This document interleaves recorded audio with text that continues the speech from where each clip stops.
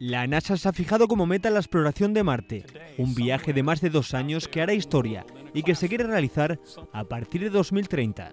La compañía Boeing, contratista principal del cohete gigante SLS, capaz de llevar en el futuro a los humanos a Marte, ha producido este vídeo en el que destaca que los niños de hoy serán los primeros exploradores de nuestro planeta vecino.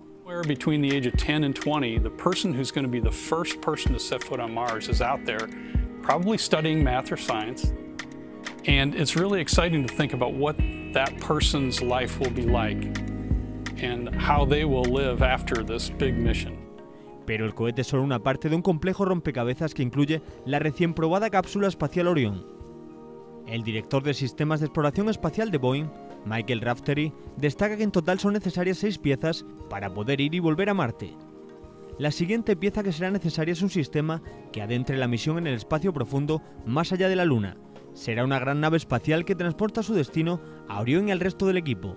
Este sistema de transporte espacial profundo será impulsado por enormes paneles solares y utilizará probablemente propulsión solar eléctrica o propulsión iónica. And it uses the power from the sun to drive the propulsion system, so they look like large sailing ships. Unido al velero estará el hogar donde vivirá la tripulación, que previsiblemente girará para proporcionar a la tripulación a bordo algún tipo de gravedad artificial y evitar así que sus huesos y músculos se degraden demasiado en la prolongada misión. Las dos últimas partes necesarias para el trabajo serán un módulo de aterrizaje y un escudo térmico inflable.